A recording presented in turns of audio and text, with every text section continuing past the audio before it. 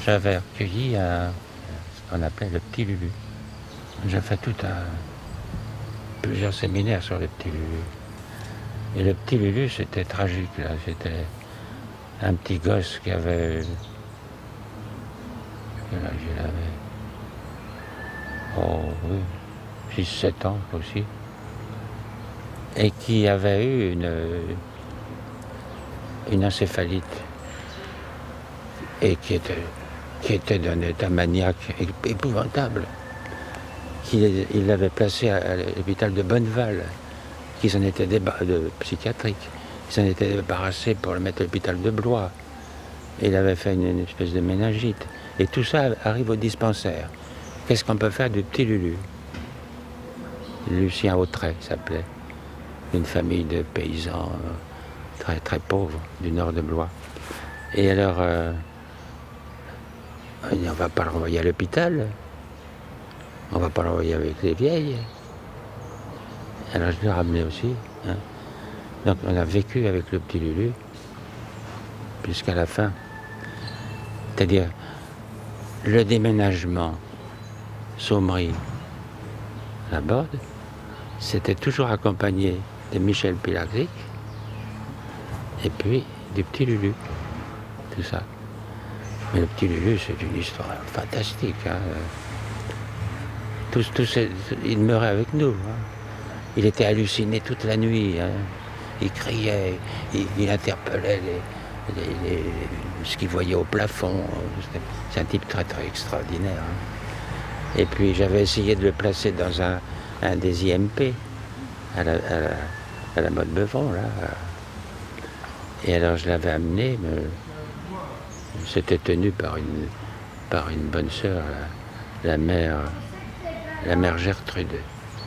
Qui, elle m'aimait beaucoup, la mère Gertrude. Et alors je m'amène avec le petit Lulu pour dire est-ce que. Alors il y avait toute l'assemblée des autres, des petits mômes qui étaient là. Et le petit Lulu qui était en état maniaque.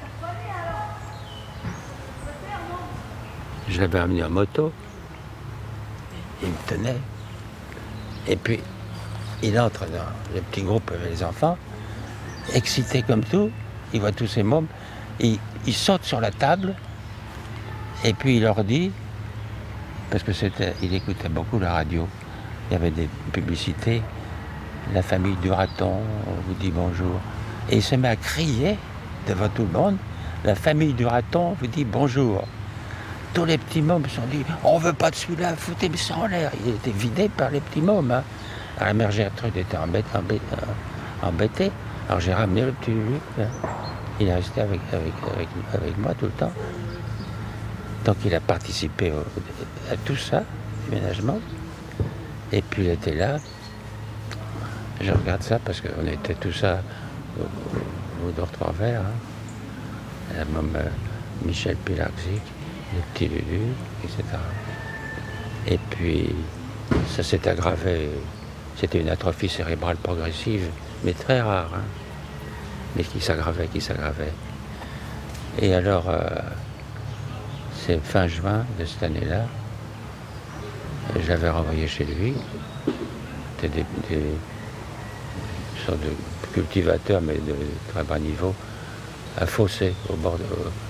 Fossé, c'est au nord de, au nord de Blois. sur-. Et alors, euh, je, voyais qu'il allait mourir. Alors j'ai ramené là. hein. Et puis j'y suis allé, tous les jours, tous les jours. hein. Et puis c'est fin juin. Fin juin, mais il est mort. J'étais là, il pouvait, il pouvait plus, il pouvait plus parler, plus rien. Il était, avait les yeux. Et je me souviens très bien les dernières minutes là. Je m'étais approché. Il m'a regardé. Et le regard. Il n'y avait plus que le regard. Et puis est mort. Ça, je raconte tout ça très en détail. hein. C'est- plus compliqué que ça, mais en gros, c'est ça, quoi. Or, Michel Pilarczyk, elle s'occupait très bien du petit Lulu. Elle le portait, le promenait, etc. C'est tout ça, c'est cette ambiance-là. Disons, le- l'entrée à la borde.